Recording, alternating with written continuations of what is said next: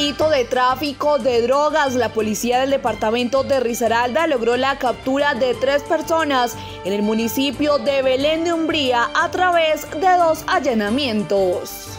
Por su parte, la Policía Metropolitana de Pereira logró la captura de 28 personas por diferentes delitos, tres de ellos por orden judicial. Los municipios de Pueblo Rico y Apía se encuentran en alerta naranja por posibles deslizamientos ante las lluvias que se han venido registrando en las últimas horas. Así lo dieron a conocer desde la Defensa Civil del Departamento de Risaralda.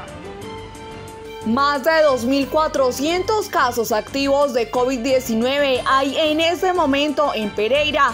Además, este 15 de octubre se conmemora el Día Mundial del Lavado de Manos, una fecha oportuna para continuar incentivando la prevención del COVID y otras enfermedades.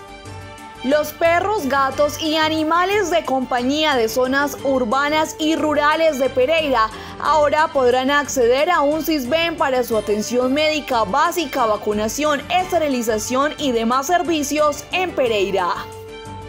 Un caldense y un pereirano serán representantes de colombianos ante el gobierno nacional, donde impulsarán recursos para cerrar la brecha social en el país.